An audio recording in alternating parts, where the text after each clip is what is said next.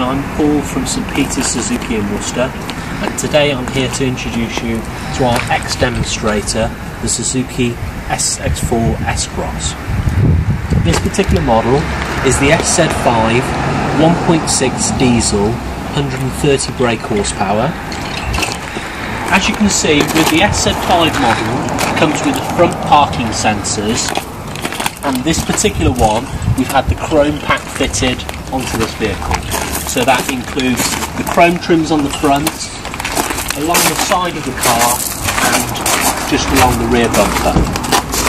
Taking you into the cabin of the vehicle, you can see a standard with the SZ5 that comes with a full leather interior. You've got heated seats in there as well as and full electric windows. Showing you into the cabin, you've got the full map sat nav with reversing camera, dual zone climate control to set the exact temperature you require in the vehicle, cruise control, Bluetooth settings, and also you've got the stop start button.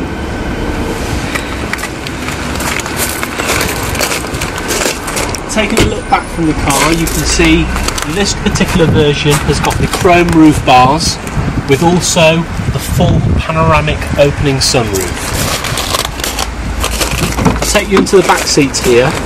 So again, obviously, is a the leather interior with this version, with three three-point seat belts, with the outer seats having the Isofix compatibility.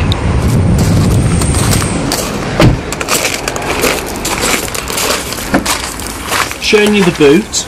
That's a standard boot like that. You've got a flat entry in, but also you've got the storage space underneath that to give you a little bit more space for shopping or, or anything.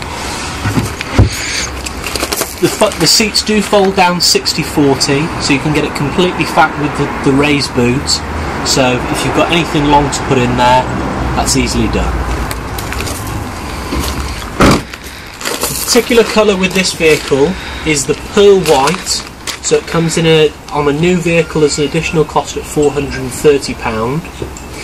This car was registered in March 2014 and has just done 4,500 miles, still with its manufacturer's warranty on the vehicle. That's all the details on the Suzuki S-Cross X Demonstrator.